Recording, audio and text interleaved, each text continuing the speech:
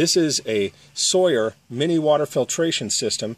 It filters up to 100,000 gallons of water, and here is the filter itself. And when we look inside, we see that we get a cleaning plunger, and you'll see what we need that for in a minute.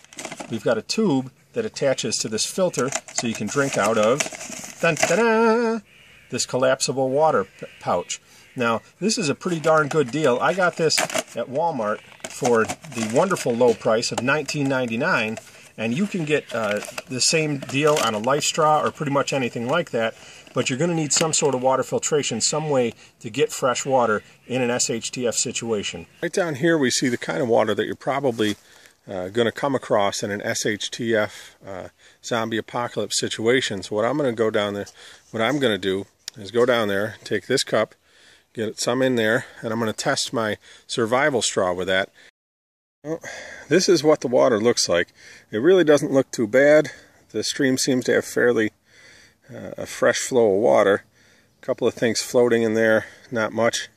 Slight discoloration. I'm just going to go ahead and take a drink of this and we'll see. I guess you got to find out sooner or later if if this is going to work. So better to find out now than in a survival situation if it doesn't, right?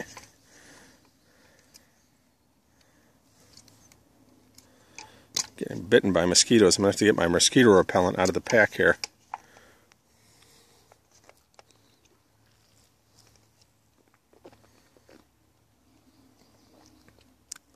Well, I'll let you know if I get dysentery or end up dying. I'm about 20 minutes removed from taking a couple drinks with that survival straw out of that water that I got from the side of the path. And so far, no ill effects. I think that survival straw works.